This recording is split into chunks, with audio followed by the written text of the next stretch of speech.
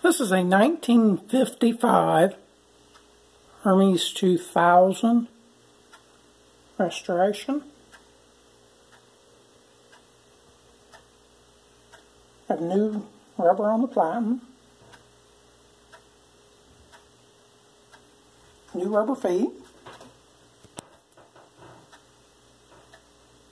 Feed rollers in great shape.